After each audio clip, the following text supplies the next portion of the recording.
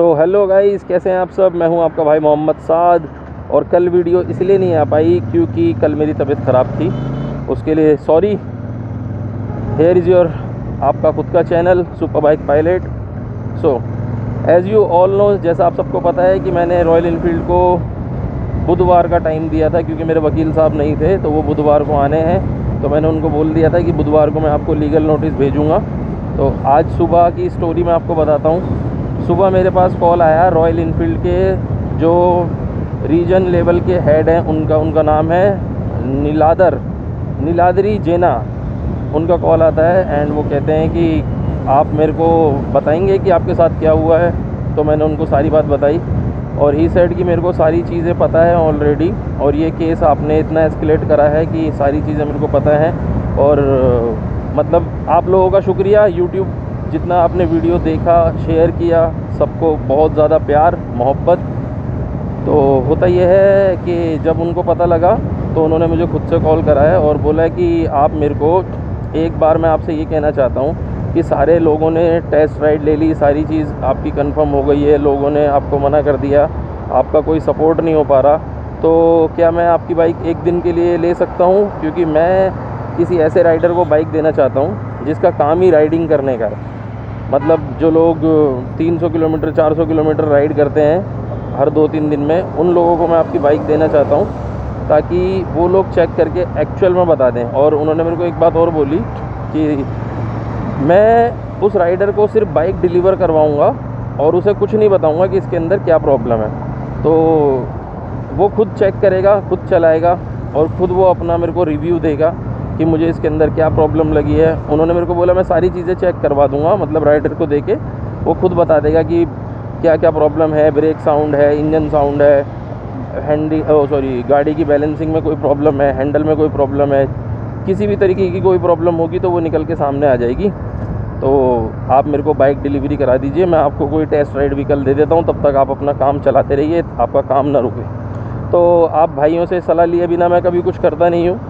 आप मुझे सलाह देना कि मैं क्या करूँ। मैंने उनको अभी होल्ड पे डाल दिया है। मैंने कहा, आप मेरे को थोड़ा टाइम दीजिए सोचने के लिए। क्योंकि ऑलरेडी यार, देखो ना, हर कोई तो यही बात बोलता है। जब से बाइक ली है, तब से हर कोई यही बोलता है कि उसने चेक कर ली, अब कोई बात नहीं, उससे सोल्यूशन नहीं निकल पाया, मैं चेक करता हूँ। ऐसा ही तो हुआ था। डीलरशिप ने बोला कि मैं चेक करता हूँ। डीलरशिप से नहीं हो पाया तो फिर उसके बाद फ्लायर ने बोला, कोई बात नहीं, उनसे नहीं हो पाया तो मैं चेक करता हूँ। फ्लायर से नहीं हो पाया तो दूसरे डीलरशिप ने बोला, हम चेक करते हैं। दूसरे डीलरशिप के अंदर दूसरा फ्लायर ने बोला, हम चेक करते हैं। उसके बाद जो नॉर्थ इंडिया को देखते हैं, सचिन, उन्होंने बोला, हम चेक करते हैं। फिर एक फ्लायर और आ गया, सत्यम, उन्होंने बोला, हम चेक करते हैं। तो यही चला जा रहा है, हम चेक करते हैं, हम चेक करते हैं। तो आप भाइयों से मतलब मेरे को सलाह चाहिए कि क्या करूँ, इनको लास्ट चांस दूँ, अपनी बाइक छोड़ूं या फिर जो मेरा पूरा प्रोसीजर चल रहा है और बुधवार यानी कल मेरे वकील साहब आ जाएँगे तो कल मोस्ट प्रोबेबली और थर्सडे इनको लीगल नोटिस ही भेजूँ। आप मुझे बताना, ये मेरा अभी तक का बड़ा क्वेश्चन है आप सब भाइयों से कि आप लोग मुझे सलाह दें, आप लोग मुझे बताएँ, क्योंकि जितना प्यार आप मुझे करते हैं तो मेरे लिए सही सलाह आप ही लोग देंगे। ठीक है तो ये पॉइंट होता है अब यहाँ पर ख़त्म। अब कर लेते हैं इसी बाइक की कुछ बातें। उस दिन मैंने आपको दिखाया था इसके अंदर ब्रेक टेस्ट तो ब्रेक तो बहुत अच्छे थे इस बाइक के अंदर। एक दो चीज़ें और हैं जो मुझे पसंद हैं इस बाइक की। वो भी मैं आपको इसके अंदर बताऊँगा कि यार ये बाइक ली जो थी मैंने, किस किस बेस पे ली थी।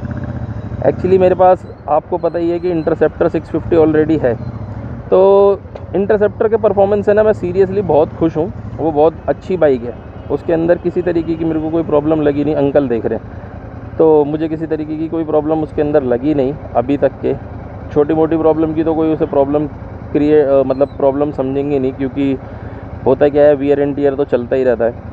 तो उसके अंदर ऐसी कोई प्रॉब्लम मुझे नहीं लगी तो इसीलिए मैंने इस बाइक को लिया था कि ये बाइक जो है, नई आई है और रॉयल इनफील्ड ने इस पर बहुत रिसर्च किया है तो अच्छी चीज़ बनाई होगी। तो डेफ़िनेटली चीज़ तो मैं आपको कहूँगा कि यार मेरे साथ प्रॉब्लम है या मेरी बाइक के साथ प्रॉब्लम है। दो चार प्रॉब्लम तो कॉमन है, जो इसका सस्पेंशन जो इसका हार्ड है। वो प्रॉब्लम है ब्रेक की आवाज़ ची ची ची ची जो करती है वो प्रॉब्लम है। हेडलाइट का मसला है जो हेडलाइट जो है रात को इन सफिशेंट नहीं है। अगर आप किसी पहाड़ी एरिया में ट्रैवल कर रहे हैं तो बिल्कुल भी सफिशेंट नहीं है। आपको एक्स्ट्रा लाइट लगवानी ही पड़ेगी। सो so, इसके अंदर जो मुझे अच्छी चीज़ लगी थी वो ब्रेक इसके क्योंकि ब्रेक इसके सुपर बाइक से भी ज़्यादा अच्छे लगते हैं। मैंने आपको बताया ना कि मैंने जी नाइन हंड्रेड के ब्रेक भी टेस्ट करे थे उससे अच्छे इसके ब्रेक मुझे लगे। तो उसके बाद जो मुझे इसके अंदर अगला पॉइंट अच्छा लगा, वो मुझे लगा इसका माइलेज माइलेज की मैं बात करूँ आपको अगर तो इसका माइलेज मुझे ईजीली मतलब अगर मैं तरीके से चलाऊँ, तरीके से सत्तर, अस्सी, नब्बे तक भी खींचूँ तो मुझे 28 तक का जेनवन माइलेज ये बाइक दे देती है। जी हाँ 28 का माइलेज देती है। और अगर थोड़ा सा और तमीज़ से चला लो लाइक 50 60 70 चला लो तो एक दो पॉइंट माइलेज और ऊपर हो जाएगा। तो इसका mileage same to same Interceptor जैसा ही है, क्योंकि इंजन सेम है तो फ़र्क नहीं लगा। जैसे सुपर मिट्योर है, वज़न, लोगों ने कहा था वज़न ज़्यादा भारी है तो भारी होने से माइलेज पे फ़र्क पड़ता है। ये बात सच है कि वज़न ज़्यादा है तो माइलेज पे फ़र्क पड़ेगा बट ऐसा इसके साथ नहीं है। अगर आप तमीज़ से चलाते हैं तो 28 तक का माइलेज आपको दे देती है। मेरे को भी 28 तक का माइलेज दिया है। एक चीज़ से शिकायत है माइलेज से याद आया, एक चीज़ की बहुत बड़ी शिकायत है। वो मुझे रॉयल इनफील्ड की हर गाड़ी के अंदर है। कोई भी ऐसी गाड़ी मुझे अभी तक रॉयल इनफील्ड की नहीं दिखी है, जिसके अंदर मुझे ये शिकायत ना मिली हो, और वो शिकायत सबसे बड़ी है कि आपके साथ ना एक तरीके से गाड़ी धोखा करती है। रॉयल इनफील्ड की हर गाड़ी, ना सुपर मिटियोर ना मिटियोर ना क्लास एक कोई भी गाड़ी, हर गाड़ी जो है वो रॉयल इनफील्ड की हंटर भी, हर एक गाड़ी धोखा करती है। धोखा क्या करती है? ये जो इसका पेट्रोल के बार्स है ना, ये बेसिकली फुल है। होगा क्या? गाड़ी कभी भी दो पॉइंट कम कर देगी, कभी भी दो पॉइंट बढ़ा देगी। रिलायबल नहीं है, ये पेट्रोल के पॉइंट्स मतलब इतना काम करा, इतनी अच्छी इन्होंने बाइक बनाई, इतनी रिसर्च मारी इस पर पेट्रोल का जो गेज है, वो स्टिल वैसा ही है, जैसा मेरे पास 2015 में थंडरबर्ड थी, उसका है।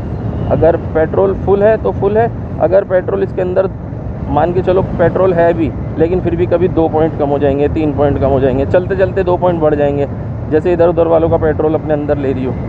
सो so, ये पॉइंट मुझे ना बहुत ही ज़्यादा चुभता है कभी कभी कि एक्चुअल में पता नहीं चल पाता कितनी गाड़ी चल गई है और कितना पेट्रोल कंज्यूम हो गया है। जी और दूसरी जो मैंने आपको बताया इसमें कुछ अच्छे पॉइंट्स हैं वो ये हैं कि इसके जो शीशे हैं ये जो ये जो आपको शीशे आप देख पा रहे हैं इनकी विजिबिलिटी बहुत ओके है। हम लोग आफ्टर मार्केट जो शीशे लगवाते हैं मतलब गाड़ी लेने के बाद जो शीशे लगवाते हैं ना सात सात हज़ार साढ़े छः हज़ार रुपये के जिसको आर ही बेचता है अपने ब्लैक कलर के शीशे होते हैं, कुछ लोग बाहर एंड पे भी लगवाते हैं, कुछ लोग यहाँ भी लगवाते हैं। तो मेरे हिसाब से उसको लगवाने की ज़रूरत नहीं है। ये शीशे जैनवन है, अभी तक मैंने जितने लोगों की गाड़ियाँ देखी हैं मोस्टली लोगों ने यही शीशों पर चला रहे हैं, अच्छे मिरर हैं, कोई प्रॉब्लम आने वाली ऐसी नहीं है। वाइब्रेशन का इशू मैंने आपको बताया था ऑलरेडी कि वाइब्रेशन का इशू है।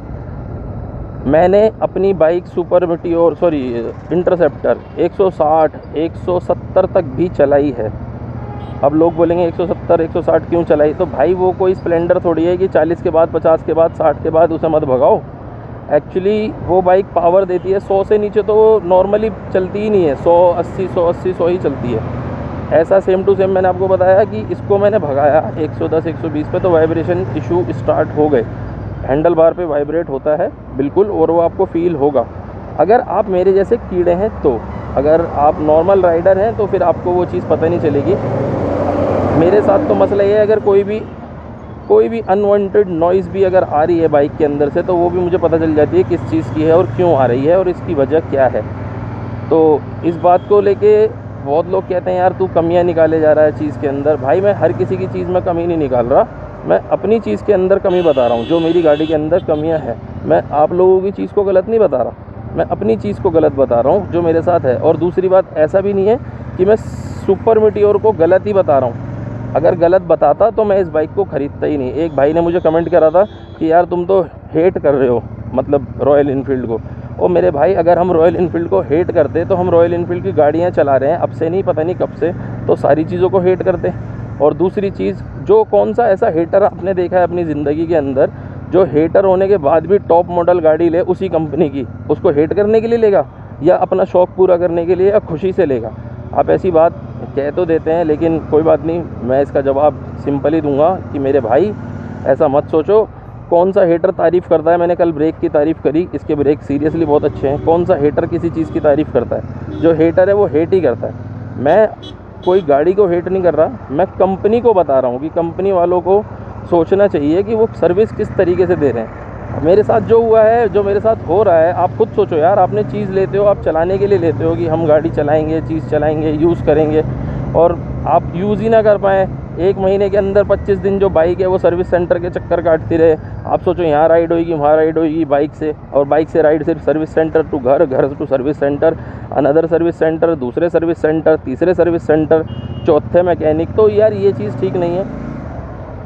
ये चीज़ मैं समझता हूँ कि रॉयल इनफील्ड को समझनी चाहिए थी पहले दिन से ही कि अगर कस्टमर को पहले दिन से ही प्रॉब्लम हो रही है तो फिर उसको अच्छा सा सोल्यूशन दिया जाता है। क्योंकि एक, आप, मैं अपने आप को ये नहीं बोलूँगा कि हम प्राइम हैं। बेसिक इनकी गाड़ी ये प्राइम है। इससे ऊपर इनके पास रॉयल इनफील्ड का कोई भी व्हीकल नहीं है। तो जब एक प्राइम व्हीकल का कस्टमर आपका इतना परेशान हो रहा है तो मैंने ये बात ऑलरेडी भी कई बार कही है, कई वीडियोज़ के अंदर कि फिर नॉर्मल बंदे जो हैं, जो बेचारे दो ढाई लाख रुपए की बाइक लेते हैं। मेरी नज़र में वो दो ढाई लाख रुपए भी नॉर्मल नहीं है, क्योंकि कोई भी बाइक अगर आप लेते हैं तो दो ढाई दो ढाई लाख रुपए में तो लोगों के यहाँ टॉप मॉडल बाइकें मिलती हैं। बजाज के अंदर ढाई लाख रुपए से प्लस में वो बजाज डोमिनार टॉप मॉडल है। बहुत सारी कंपनी ऐसी है जिनमें दो दो लाख की तो कोई बाइक ही नहीं है। समझ रहे हो आप? इतनी ऐसी कंपनी है जिसमें दो लाख रुपए की कोई बाइक है ही नहीं, जो जिसे वो बोलेंगे टॉप है। हीरो के अंदर आप ले लो, दो लाख, सवा दो लाख रुपए के अंदर आपको टॉप मॉडल बाइक मिलती है, जो उससे ऊपर हीरो के पास कोई भी सेगमेंट नहीं है। तो आपको भी मैं ये नहीं बोलूँगा कि जो जिन्होंने दो ढाई लाख रुपए खर्च करे हैं, वो कम है, वो बहुत पैसे होते हैं, अच्छे खासे पैसे होते हैं। आपने भी दो ढाई लाख रुपये खर्च करे और फिर भी आप परेशान रहो तो मैं नहीं समझता ये कोई जस्टिस हुआ कस्टमर के साथ। अगर कस्टमर के साथ इन्हें जस्टिस करना था तो फिर इन्हें फ़र्स्ट टाइम अगर जब मेरे को प्रॉब्लम फेस हुई थी, तभी इन लोगों को मुझे अच्छे से ट्रीट करना था और जो प्रॉब्लम थी उसे रेक्टिफाई कराना था। इस केस को सीरियस लेना था। इन लोगों ने लिया मज़ाक में। मज़ाक में लेते गए लेते गए लेते गए। जब मैंने अभी लास्ट सारा ईमेल किया है, उसमें मैंने लास्ट मेंशन किया था कि मेरे वकील साहब जो हैं मतलब नहीं है और अब मैं केस डालूँगा और मैं आपको लीगल नोटिस भेजूँगा वेडनेसडे को। तो इन्होंने आज मुझे कॉल कराई है। आप सोचो जो काम होना चाहिए था कब? कब मतलब ऑलमोस्ट 20-25 दिन पहले, वो काम अब हो रहा है। अब ये फ़ोन करके मुझे बोल रहे हैं कि मैं ऐसा चेक करा देता हूँ आपकी गाड़ी। आप टेंशन मत लो, कोई दिक्कत नहीं है। और सबसे बड़ी बात तो मेरे को इनकी हिम्मत की लगती है कि यार ये इनकी हिम्मत देखो कितनी है। ख़राब चीज़ है, फिर भी उसके बाद बोल देंगे कि ठीक है, कोई प्रॉब्लम नहीं है। मतलब आप आ जाओ, आपकी गाड़ी ठीक हो गई है। मेरे भाई, तुमने क्या ठीक करा इसके अंदर? आप ये सोचो। जब भी देखो ना, जब भी इनसे पूछो कि इसमें क्या ख़राब था और क्या ठीक करा तो बोलते हैं एडजस्टमेंट करी बस। क्या करा? एडजस्टमेंट करी। कहाँ से करी? एडजस्टमेंट होती है, सर, पीछे से एडजस्टमेंट कर दी, थोड़ी बहुत आगे से कर दी एडजस्टमेंट ओ, मेरे भाई, एक बात बताओ, तुम एडजस्टमेंट करके ठीक कर दो चीज़, मिसाल के तौर पे।